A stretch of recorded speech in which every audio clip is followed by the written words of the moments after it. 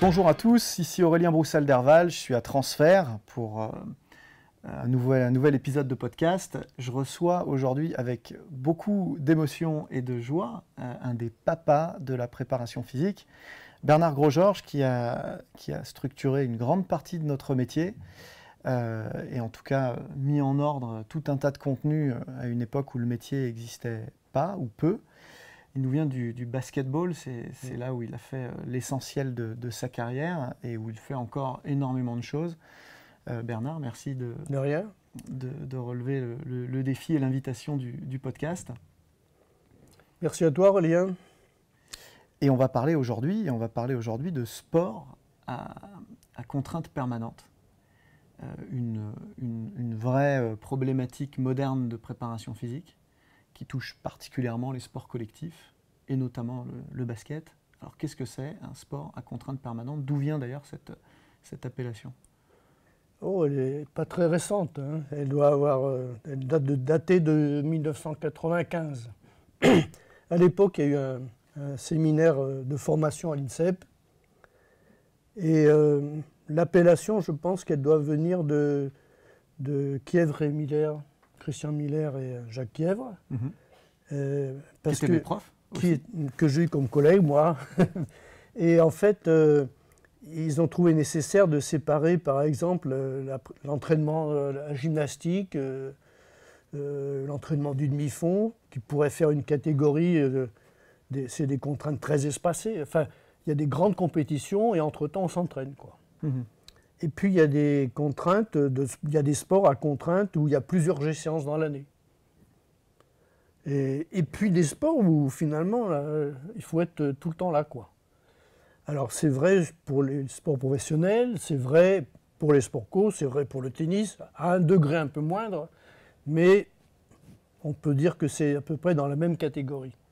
Les sports où il faut être là toute l'année posent un problème vraiment particulier, spécifique, qu'on ne retrouve pas ailleurs. Pourquoi? Ben Parce que, en fait, quand on est en saison, on cherche de maintenir la forme, ce qui est un gros problème. Pour les athlètes, c'est impossible. Ils vont dire euh, c'est pas possible d'être en forme 6 mois, ou 3 mois, ou 4 mois. Si on est en forme 3 semaines, c'est bien, quoi. Donc en sport co, on va pas être au top de la forme, mais il faut être acceptable. Ouais, La notion de pic de, pe- de, de- de performance et de il faut forme stabiliser la performance. est plutôt euh, aplanie, mais stabiliser maintenir. et stabiliser les qualités. Et euh, donc il ne faut pas trop creuser dans des choses fondamentales en saison, parce que ça déréglerait la Formule 1 que- que- qu'un sportif de haut niveau est en fait. Hmm. Si on touche à quelque chose chez des champions, on dérègle assez facilement tout.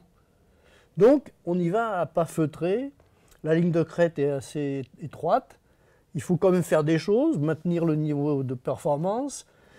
Il faut aller creuser dans, des, éléments où on peut faire des choses sans détruire autre chose, ce qui n'est pas simple. Et voilà un petit peu la difficulté, de enfin l'enjeu en fait. Et à ça, c'est ajouter quand même d'autres contraintes. C'est euh, avec la professionnalisation.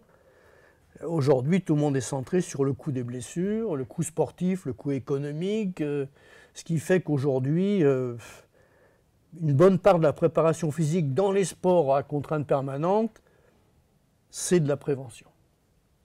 Voilà. Donc, euh, on peut donner plein d'exemples sur réduire le nombre de blessures. Alors, l'exemple qui me vient en premier, c'est celui du Français Rudy Gobert. L'an dernier, il a été blessé, il a été assez sérieusement blessé, il a dû manquer 10-12 matchs. Et son équipe euh, avait du mal à gagner. Et euh, dès qu'il est revenu en, situation de pouvoir jouer, ils ont gagné 8-10 matchs d- d'affilée. Et ils ils n'ont ils ont pas fait les playoffs, mais ils étaient tout près, je crois. Cette année, il n'a pas été blessé, ils sont qualifiés pour les playoffs.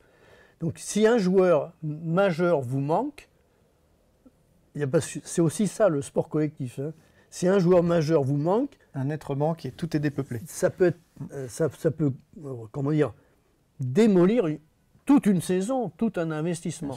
Donc les, les- les entraîneurs et les préparateurs physiques euh, euh, ont pour mission de ne pas, pas abîmer les joueurs. Hmm. Donc, on va dire, ils en font un petit peu moins que ce qu'ils pourraient. Parce qu'il vaut même mieux avoir un joueur qui est à 90% de son potentiel maximal, mais qui joue et qui peut quand même bien jouer. Moi, je me rappelle avoir joué des matchs de basket avec des, entorses fraîches. Pas.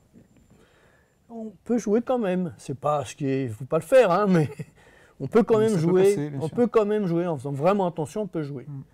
Donc voilà, il faut pas le faire, bien sûr, mais euh, donc, euh, il faut être très concentré sur le fait qu'aujourd'hui, la préparation physique, c'est une bonne part de prévention. Une bonne part.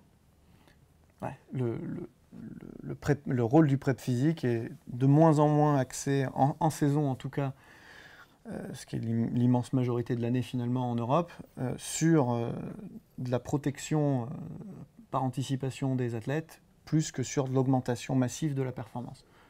Oui, mais on peut jouer. Par exemple, euh, bon, aujourd'hui, c'est assez admis que si on a un niveau de souplesse euh, qui est plutôt bien réparti sur le corps, s'il n'y a pas des raideurs particulières, je parle de, cette qualité-là simplement, ben, les risques, on va, on va diminuer le mmh. potentiel de risque.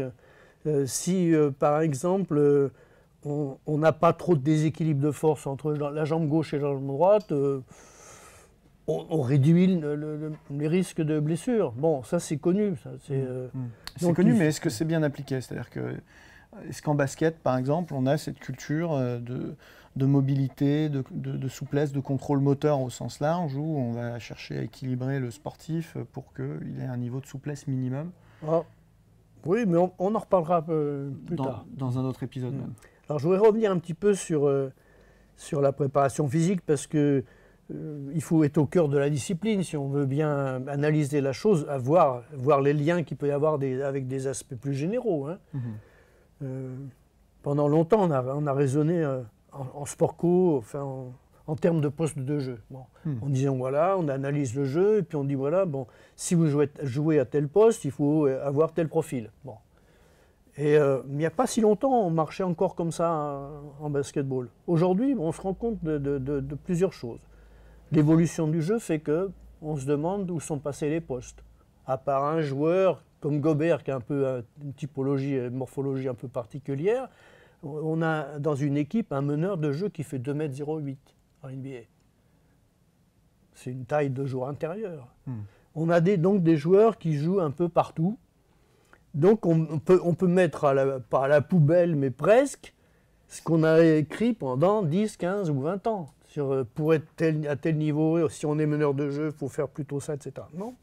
Aujourd'hui, ça n'existe plus. Les contours du modèle ont de Gros, bougé. Il y, a des morphologies des particulières qui font qu'en fonction de ses potentialités techniques et son morphotype, et des goûts du joueur aussi, et des goûts des, et, des, et des projections de l'entraîneur, on peut faire, faire évoluer un joueur à, de, de différentes façons on a, on a trouvé d'autres formules maintenant pour dire ben, le joueur de basket, c'est quoi?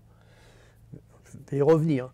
Mais après, il y a une deuxième chose qui, qui, s'est intercalée, c'est que les, comment dire, les, les, joueurs d'un même poste peuvent avoir plus de différences entre eux quand ils jouent que des joueurs qu'on pouvait classer à des postes différents. Mhm. Par exemple, des très bons joueurs. Vous avez des joueurs qui, alors, sur quelle base on fait ça? C'est sur le critère de l'accélérométrie. C'est-à-dire qu'on voit combien euh, un joueur enclenche l'accélération à la minute avec les intensités en dixième de grade de G. Et on se rend compte que ben, sur un même poste, on va du simple au double, voire du simple au triple.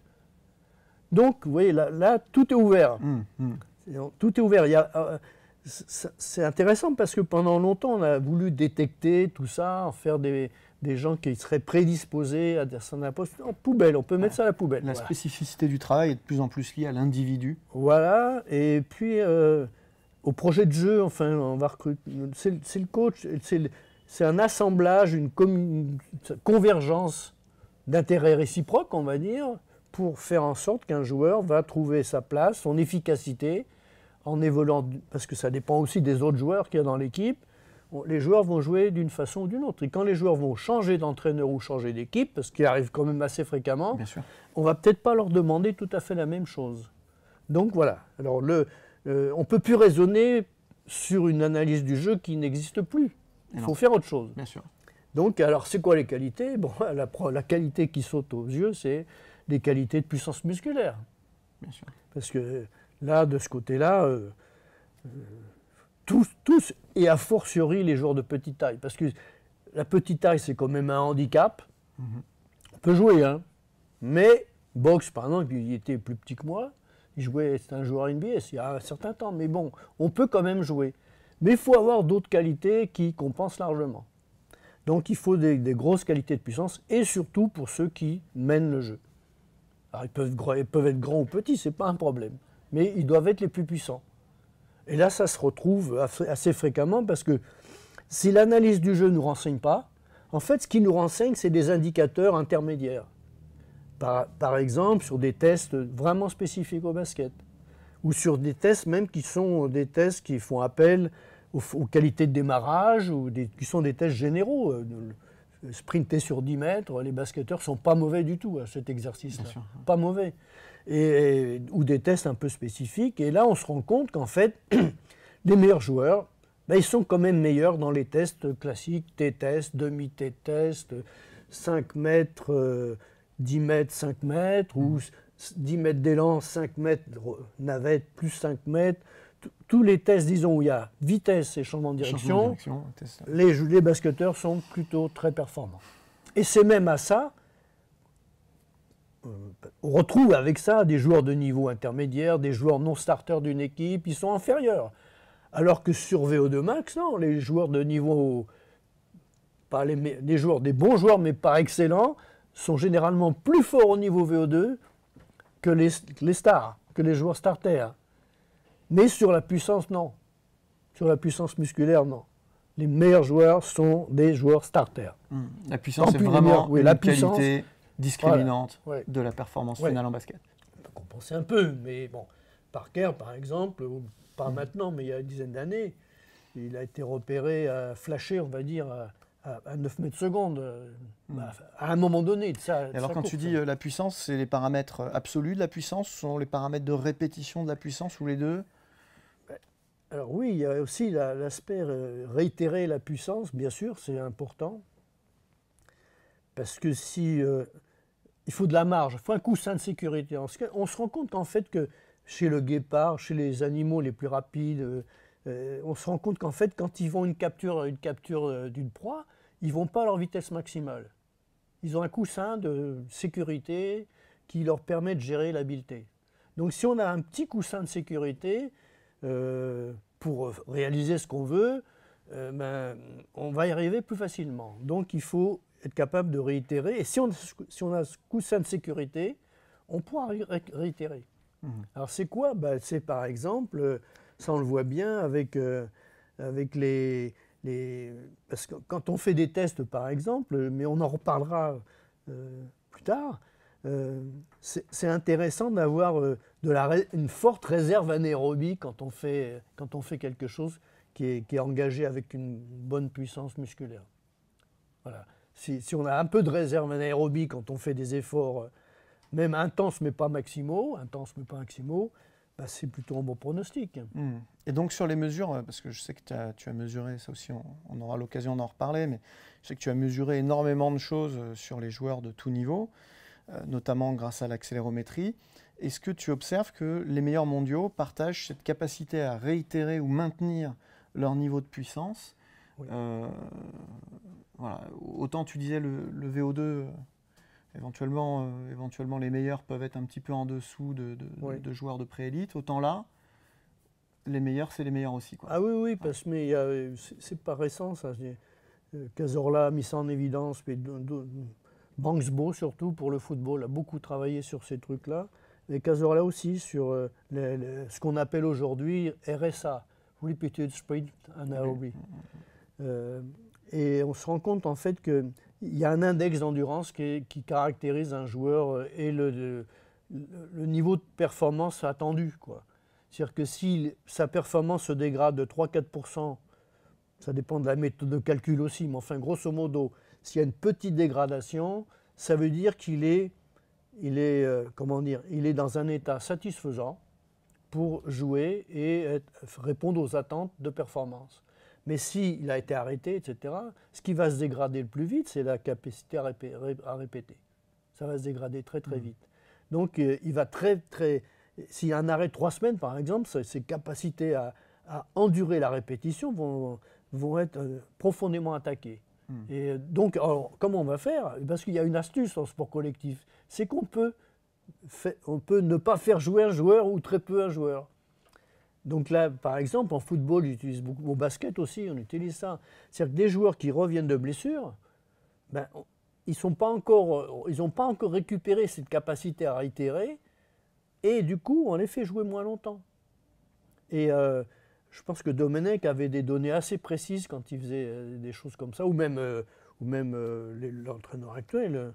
Ils ont des données assez précises pour savoir quel temps de jeu on peut donner à un joueur compte tenu de son niveau, de, contrôle, de, euh, conservation de qualité et de puissance dans la répétition. Mm, mm, mm, bah, ça renvoie un petit peu à ces, notions très à la mode. Là, hein, il y a le return to play, c'est une chose, et il y a le return to perf. Voilà, tout à fait. Et euh, ok, alors du coup, bah, voilà, on, est dans, on est dans ce cadre-là, on est dans, dans un cadre de, sport à contrainte permanente, ok, sport co, il faut être euh, au niveau toute l'année, et du coup, on a cette, ces paramètres de puissance qui, eux, s'ils ne sont pas maintenus, vont se dégrader assez vite. Ah oui, ça se dégrade, oui. Euh, surtout, alors a fortiori dans les sports à, détente en plus, il se trouve que le basket en fait partie. On sait qu'on, j'ai pas mal de data là-dessus aussi en volleyball où on sait que il faut trouver des protocoles de maintien des qualités euh, neuromusculaires. Euh, justement, quelles sont les pistes de travail Alors, on va partir déjà. Comment on peut détecter ces trucs-là? euh, il y a pas mal de travaux là-dessus. Je pense à Anne de l'Extra. Elle, utilise les, capacités de CMJ, de control movement jump, mhm. à différents moments de la semaine chez des, joueurs élites de sport collectif. Bon. Euh, on a aussi Montgomery, hein, qui je crois qu'il est un, auteur australien, qui a travaillé sur les matchs répétés, les tournois. Parce qu'on parle souvent de l'analyse du jeu comme si le jeu c'était un match. Non, non, le jeu c'est pas un match. Le jeu c'est une histoire de match qui, une charge cumulée qui est cachée, en fait. On n'y pense pas, mais elle existe. Mhm. Et puis une charge à venir. Donc, euh, et quelqueuvent des matchs resserrés. Dans la semaine, il y a des, maintenant, il y a fréquemment, pour les équipiers qui jouent euh, au niveau européen ou NBA, on peut avoir trois matchs en dix jours. Ou même un peu moins. Trois mhm. matchs en sept jours, des mhm. fois. Donc, euh, alors, ce qui va, ce qui va compter, ce qui va, c'est l'altération de la capacité de CMJ. Ça va très très vite. Ça, c'est un vrai repère. Ah oui, parce que dans la semaine, par exemple, de l'extra, elle trouve qu'on on peut perdre 6 ou 7 cm euh, euh, en milieu de semaine, quand on a eu 2-3 entraînements un peu hard. Parce qu'en général, qu'est-ce qui se passe? Dans la fin de semaine, plus personne, euh, les entraîneurs, mais surtout pas les joueurs, les joueurs ne veulent plus se charger énormément. Hmm. Ils pensent au match et ils acceptent assez bien tout ce qui est vivacité, travail technique, préparation de match. Euh, ou travail, travail ludique, etc. Donc les deux, trois derniers jours, euh, euh, on, va être en dégressif, c'est obligé. Donc, et le lendemain d'un match, on peut, on peut va pas, ou deux jours après, on va pas charger. Donc on va charger quand? À, J plus, match plus 3 ou match moins 3. Trois jours. Hein. Hmm. Et en fait, on va, on, va monter, on va monter progressivement en intensité, ce qui fait qu'en milieu de semaine, il y aura un gros coup de mou. Et là, on va pouvoir gérer ceux qui sont investis. Par exemple, ceux qui sont investis risquent d'avoir une performance un, petit peu altérée. Et ceux qui ne sont pas trop investis, euh, ça va se voir. Donc c'est logique de perdre de la qualité dans la semaine. C'est logique. Hmm. Mais en même temps, c'est un bon indicateur. Hmm. Alors c'est un bon indicateur aussi sur les tournois. Si je fais maintenant allusion à ce qu'a ce écrit et publié Montgomery, quand on a un tournoi avec trois matchs, parce qu'au championnat d'Europe de basket, mais dans tous les. Pas, dans, pas en foot, il y a moins de matchs, mais en volet, il y a des matchs très rapprochés. On a aussi ce phénomène d'altération de, la, puissance musculaire. Et, ils mettent même plusieurs jours à récupérer leur niveau initial. Donc euh, ça, on n'y pense pas en fait. Hein. C'est-à-dire que quand on a fait un tournoi, ben, on est alors, on a mesuré quelques minutes après, euh, une heure après, le lendemain, etc. Ça, joue jusqu'à plusieurs jours après. Mais ça, le joueur ne s'en rend pas compte. C'est une, fatigue neuromusculaire. Et on a toujours raisonné en basket en, termes de fatigue énergétique. Non, non, le vrai problème euh, en, basket, mais dans, en volet a fortiori, La fatigue, elle est un peu énergétique, mais elle est surtout musculaire, surtout neuromusculaire. Et ça, on n'a pas trop. Euh, on a, enfin, si, maintenant, c'est quand même un vrai sujet d'actualité. Mais il y a 20 ans, on n'en parlait pas de ces trucs-là. Ce qui fait que euh, si on veut maintenir le niveau de puissance, euh, il faut arriver à le faire à, minima, on va dire. Hein. avec les minima de contraintes, on va peut-être en parler plus tard. Donc, donc là, on est, on est vraiment sur euh, et alors, si on fait rien, parce que moi j'ai vécu ça, des, situations où les joueurs, pour pas euh, se blesser ou pour pas altérer leur niveau de rendement sportif, ils, n'entraînent plus leur, leur, euh, leur Formule 1, la puissance de la Formule 1, on va dire. Eh bien, ça se dégrade. ils perdent. Et oui, ils perdent, mais ils perdent. C'est pas l'effet d'un match ou l'effet de plusieurs matchs. Non, non, c'est qu'au fil de la saison, enfin fin de saison, ils ont plusieurs centimètres de détente en moins. Hmm. Moi, j'ai un mec qui, un jour, il m'appelle, affolé, il allait pas. Rien n'allait, rien n'allait. Il me dit, je comprends pas, je m'entraîne. J'ai dit, bah, écoute, fais-toi un petit cycle de puissance. Et je lui ai fait un truc qui était assez classique et bateau. Et ça lui a changé la vie. C'est-à-dire que sans s'en rendre compte, il avait perdu de, de, de, sa qualité la plus noble. C'est la qualité noble la puissance musculaire.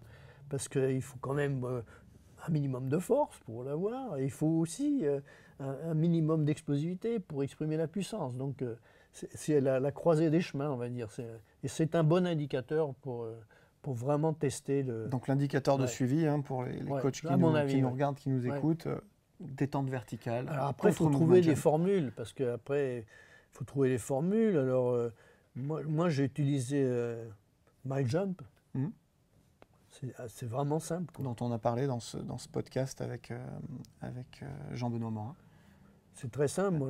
la mesure est assez fidèle, je pense. On peut la, partager avec d'autres. On ne va, va pas se gourer de beaucoup. Mm, mm.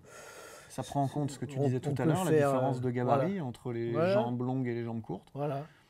Donc, euh, parce que les paramètres, une fois qu'on a les paramètres sur la hauteur de la hauteur hanche pointe de pied, mm. elle ne change pas. Donc euh, on fait une mm. fois, c'est bon.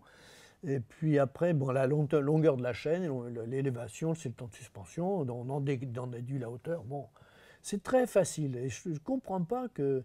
Euh, je ne sais pas si c'est une, petite, une petite appli qui est vraiment utilisée. En tout cas, elle devrait. Mm, elle devrait je pense que ça se répand de plus en plus. En tout cas, les, les, gens qui nous suivent euh, régulièrement euh, savent, savent de quoi on parle. Kim, Kimski Moscou l'utilise, euh, il y a des, Limoges l'utilise, il y a des équipes. je pense qu'en NBA, ils ont d'autres outils analogues, hein, mais je pense que CMJ, c'est un, bon, un bon outil.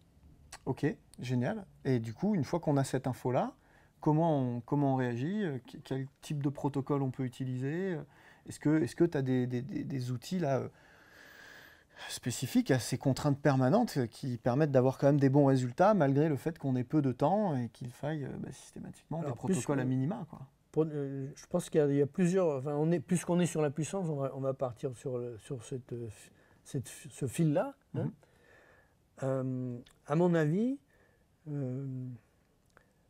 c'est très facile, très facile, en, en contraintes mécaniques et en temps passé, de sauvegarder sa puissance musculaire. Euh, c'est très facile. Alors, je vais parler un peu de force, mais on pourrait appliquer la même chose sur, sur, sur l'aspect puissance. il suffirait de changer un peu les paramètres. Alors, je, m'appuie un peu sur ce qu'a écrit David Hurst. Mm-hmm.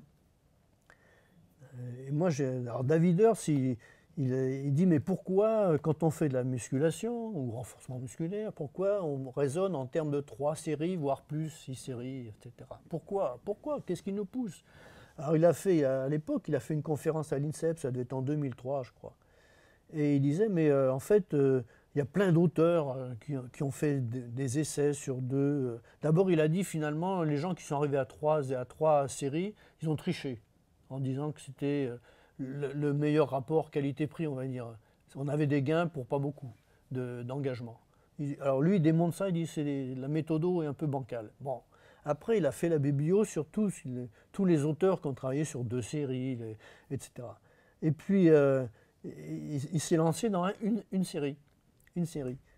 Et euh, alors là, il parlait de la, série de force max, mais on peut l'appliquer pour la puissance peut-être.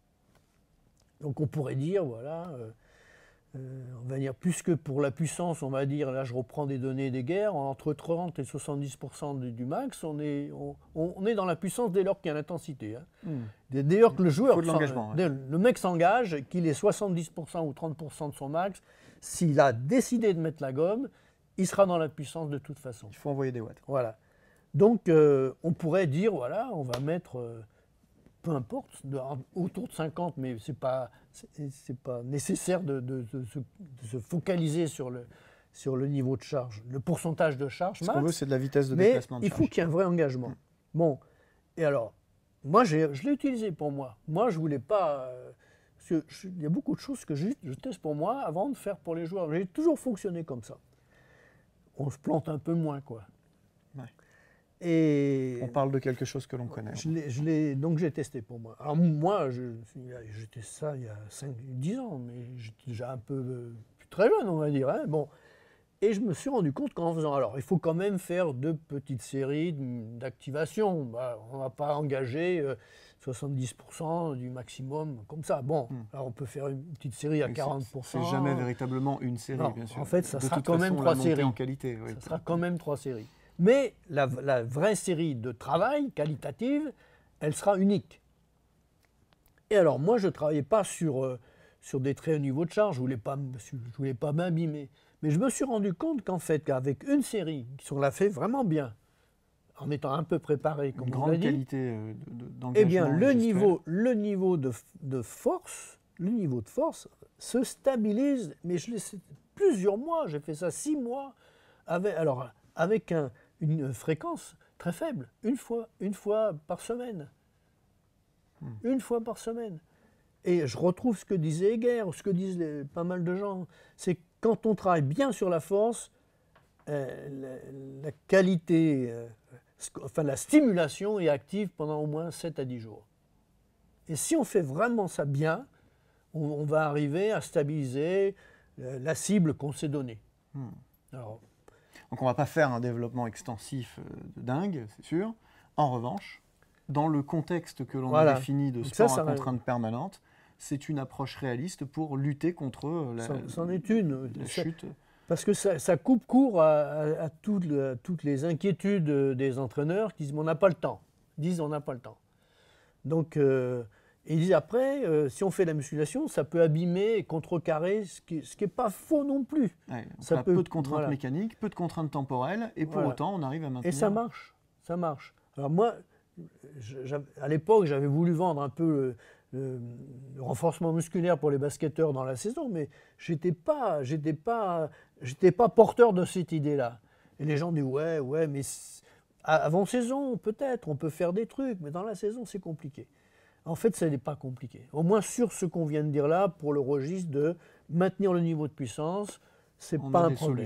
C'est pas un problème. Mieux vaut un peu que. que- Et, et puis en plus, comme les charges ne sont pas très élevées, il n'y a pas besoin du même niveau de- d'expertise technique dans, dans ce qu'on va faire. Bon, voilà. C'est- Ça, ça évite quand même des blessures qui pourraient, euh, qui pourraient être imputées à travailler très haut dans, la, dans le niveau de force et en n'étant pas très préparé aussi. Mm. Donc c'est une sécurité en même temps. hein. Alors je Voilà. crois que tu aimes, bien l'approche de, de Le Jar, toi. euh, Oui, alors ça c'est pour le haut du corps, je dirais, hein, pour les basketteurs, parce que, mais même les, tous, les sports co. Les jarres, moi j'ai testé aussi. Alors on n'est plus dans le registre de la puissance, on est plutôt dans force et un peu volume. hein. plutôt ouais, Ouais. fo- force, endurance. Mais en même temps, euh. Pour des gens pas très entraînés, ils gagnent quand même de la force. Quand même de la force. Mhm. Alors, le protocole, il est connu. hein. On va faire trois répétitions, on se repose. Alors, Léjar lui disait 10 secondes, mais j'ai testé. Et Guerre aussi a testé. Il m'a dit T'as fait le, les Léjar J'ai dit Oui, j'ai fait. Il dit T'as réussi à le faire? Ah, Je dis Non, non, j'étais obligé de un petit peu plus de repos, mais j'ai surtout baissé un peu le niveau de charge. Et il fallait, alors lui, proposer 80%. En fait, à 70%, c'est jouable. Pour, des, pour moi, pour d'autres peut-être, mais pour des gens comme moi, à 70%, on peut faire. Je faisais 15 secondes de, de- de repos et 70% de la charge. Ouais, était on vise un peu moins, un peu moins d'un max pour 10. Quoi. Voilà. Voilà. Bon, et ça, ça marchait. Alors, je l'ai fait. Et, euh, et il y a, euh, Frank Kuhn, il l'a fait avec des joueurs euh, pros de ligue, etc. Alors, chose paradoxale, les joueurs, ils adoraient. Ben, alors, ils- pourquoi, je ne sais pas, mais ils se sentaient mieux. Alors, c'est Rappelle-moi même... bien le protocole en entier, euh, surtout pour les gens qui nous écoutent. hein. il faut se total, on a combien de petit reps à peu. faire Ben, on commence, euh, la charge ne change pas. La durée euh, est constante, c'est-à-dire on, va faire, euh, on, pose la barre, on, souffle un peu et on reprend après. Donc on va faire trois répétitions, alors on va dire 70% euh, du- de la charge maximale. On fait trois essais, on pose, on se repose 15 secondes, on repart pour 4. On pose et on reprend, on repart pour 5. On pose, on reprend, on part pour 6 et on repose et on repart pour 7. Au total, ça fait 25 répétitions. Ça fait une seule série, de, enfin entre guillemets, de 25 répétitions. Alors les premières, on peut les faire un peu vite, rien rien n'interdit. Donc on va quand même stimuler un petit peu le, le- le niveau d'engagement, euh, de- disons, euh, neuronal. hein. Et les, les autres, les autres vont travailler, plus, les- la, fin de série va travailler plutôt sur euh, un engorgement, parce que quand on a Mm. fini la, la série de 25 répétitions, on a l'impression qu'on va exploser. Moi, je l'ai ressenti, j'avais On est l'impression que j'avais doublé de volume. d'effort répété. ouais. J'avais doublé de volume, je me dis, oh là là. Mais en même temps, j'avais un sentiment de bien-être. C'est quand même paradoxal. Et les joueurs, ils ont ça aussi. Alors ça leur donne pas plus d'efficacité de, de basket, ça leur donne pas plus de, de puissance dans le jeu de passe, tout ça. Mais ça leur donne un sentiment de sécurité et, et- et ça les rassure. Donc ça, on a, ça a été Et, testé. et surtout, chez- l'ensemble prend deux minutes. Quoi. Ouais, ouais, donc ça euh, là encore, on est dans un truc euh, à haut rendement, quoi, au- rendement d'efficacité. Mm, mm, Bon, mm. et ce qu'il faut, c'est optim- optimiser vraiment ce qu'on peut faire hein, dans les sports à contrainte permanente, c'est notre sujet.